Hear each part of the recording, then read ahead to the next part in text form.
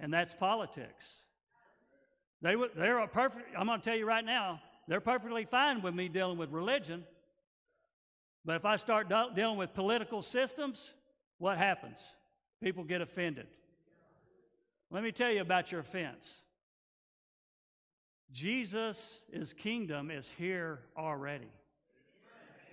And every person right now, because this is the year I believe that everything's going to be exposed and being exposed right now, even in the church, because judgment begins at the house of God, that He's turning tables, He's turning leaders over, He's removing people out of high places, and He's going to put people just like you and me.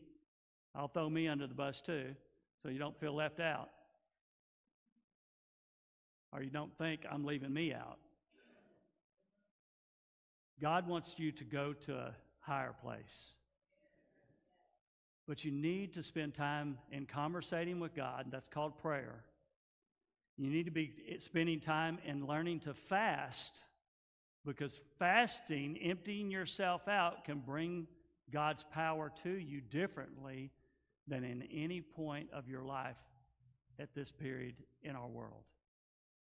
Prayer and fasting will deal with supernatural things, spiritual things that we tend to shade or, or shy away from in the church.